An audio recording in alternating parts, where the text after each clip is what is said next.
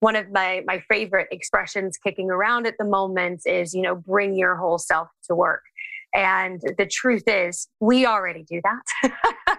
Yeah. and a lot of that that self sits in our subconscious is affected by what's happened in the past. And it's really hard to unlock yourself and move into that next level of productivity performance and success until you've dealt with that and you're really in a mm. in a situation to to forge healthy relationships in your work and and personal life and so i've i've kept that coaching designation um, because i feel yeah. like it's the responsible thing to do but i absolutely bring therapeutic uh, training and practices into into the methods that we use there's something called the gold medal syndrome that we see in athletes and so, oh, could I have one of those, right, please? Right. But it, it, yeah, I could totally relate. It's, it's really gold it's, medal syndrome, love.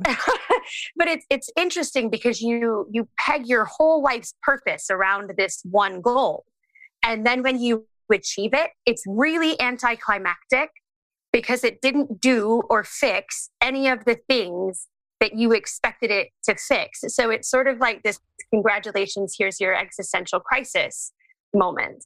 And this happens a lot with founders because you you put your your business is your baby and you you've given your whole life over to it you've oftentimes sacrificed personal relationships your mental and physical health to get to where you want to go and there's no amount of money in the world that may it, that like makes that okay and you and you have no idea where you're going to go next people do what you do, not what you say. So if you're showing up in a really self aware manner every day and you're handling problems with grace and you're establishing healthy boundaries and having open dialogue around your boundaries and taking accountability for when you make an away move, then that starts to become the way people engage with you. And then yeah. they'll like the way that feels. And then they'll go engage with others that way.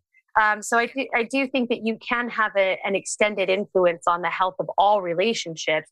It is powerful as a toxic person in a, in a, in a team or a corporate culture can be.